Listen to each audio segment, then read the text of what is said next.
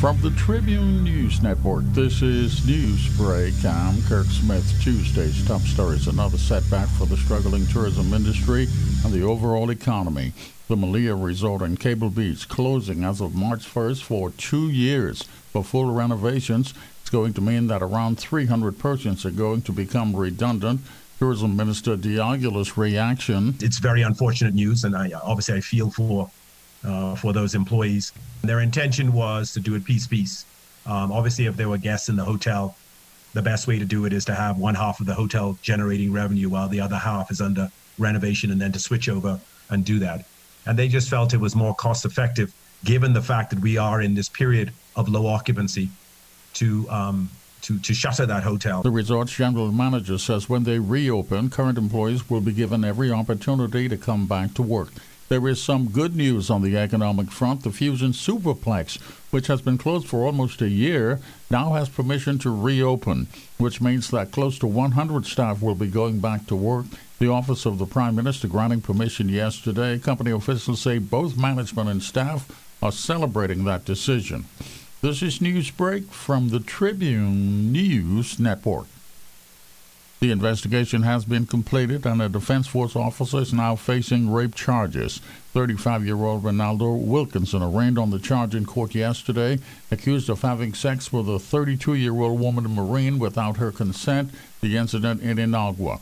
The coronavirus numbers for Sunday are in, they're low. Six confirmed cases, five in the capital, one in Grand Bahama, 14 persons in hospital, two in the ICU. Health officials say they're waiting results from more than 50 samples they've sent out to determine if there's any of the new variants of the virus here.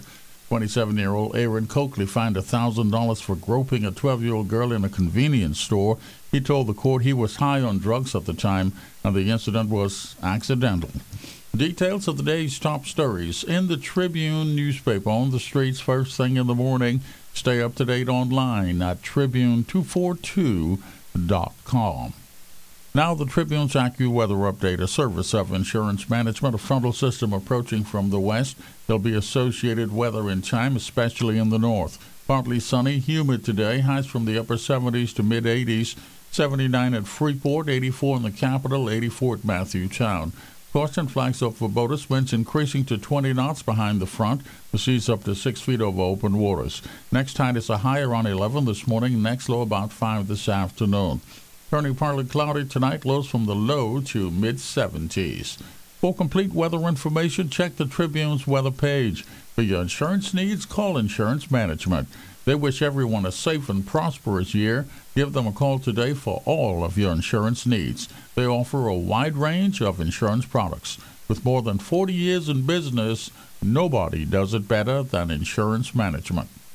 This is Newsbreak from the Tribune News Network. The Tribune has reopened to the public. So if you're selling a car, truck, boat, or computer, call us today on 502 2398. Advertising in the Tribune's classifieds trader works. So call us on 502 2398 or email classifieds at tribunemedia.net for your quote and let us help you get cash in your pocket. There are great deals to be had every day.